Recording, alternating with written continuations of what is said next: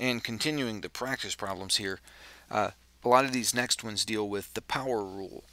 So here f primed is 7x cubed and we need to find f, the function that will have this as its derivative. Well it's going to be x to the fourth and we're going to have a factor of 7 in there so let's try 7x to the fourth and, um, and we need to divide by 4.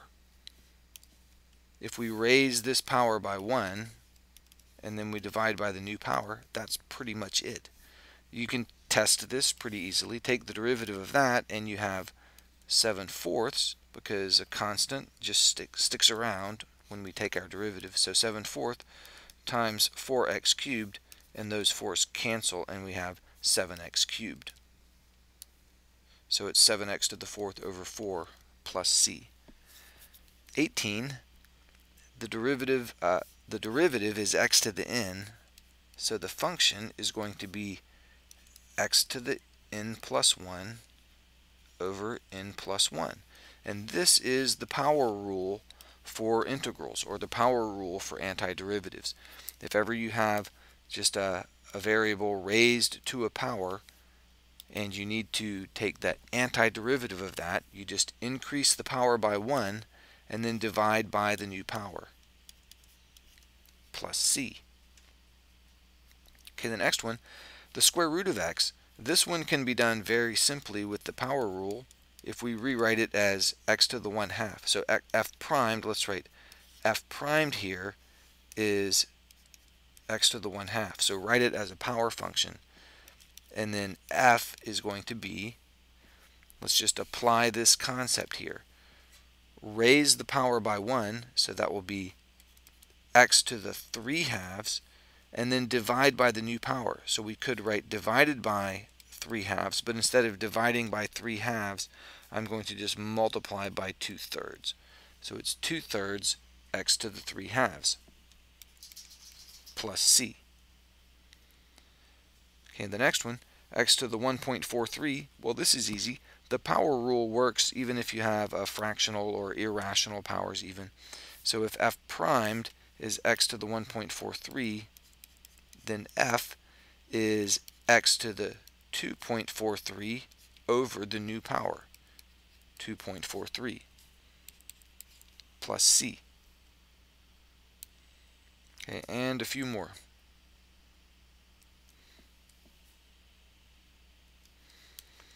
Okay, number 21, f prime of x is x to the negative 1.01. So f of x is going to be x to the power of this number plus 1. And negative 1.01 plus 1 is negative 0.01. So it's x to the power of negative 0.01 over the new power. So that's going to be over negative 0.01. And that, that's a 1 hundredth there, 0.01. So let's uh, simplify this or or write it in a in a more usual fashion. This would be a negative, we have a negative sign, negative 100 x to the negative 0.01 plus c. Okay, number 22, uh, a chain rule problem again. f prime of x is 4 times 5x plus 4 cubed, so we need to find f what function will have this as its derivative? Well, if we try a 5x plus 4 to the fourth, if we differentiate this, we'll get something kind of like this. We're going to get a 4.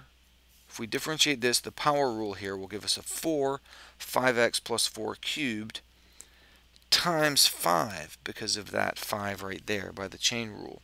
So we just need to divide this simply by 5 and put our plus c, and that's it. And of course, if you wanted to, instead of the 5 there, you could put a 1 fifth out front. That'd be fine too, to write it that way. And one more, 1 fifth 4x plus 9 squared. Okay, what function here, f, will have this for its derivative?